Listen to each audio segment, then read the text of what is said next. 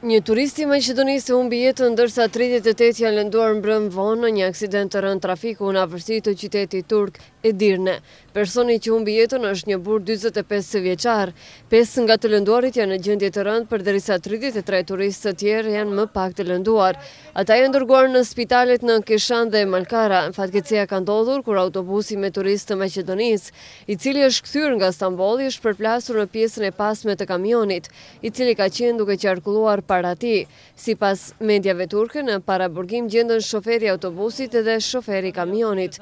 Ministria e Punëve të Jashtme të Maqedonisë njoftoi se së bashku me Konsullatën e Përgjithshme të Maqedonisë në Stamboll dhe Ambasadën në Ankara janë në kontakt të vazhdueshëm me të gjitha institucionet kompetente Shkaqet e aksidentit nuk janë bërë të ditura por referuar mediave turke, dyshohet se autobusi me targa të Maqedonisë në pronësi të kompanisë Boga Transport ka lëvizur jashtë shpejtësisë së lejuar ku gjatë parakalimit, kamioni me ngarkesë i ka goditur në pjesën anësore, me ç'rast automjeti i goditur ka tërhequr autobusin për disa metra.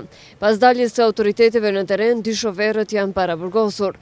Mjekët në spitalin e Malkara në Turqi, ku janë të vendosur pjesë e të lënduarve shtetas të Maqedonisë nga aksidenti i tmerrshëm që ndodhi mbrëmë, për media turke kanë thënë se ata janë duke luftuar për të shpëtuar njërin nga pesë të plagosurit, jeta e të cilëve është në rrezik. Personi që po lufton për jetën ka dëmtime të rënda në gjoks, legen dhe këmbë.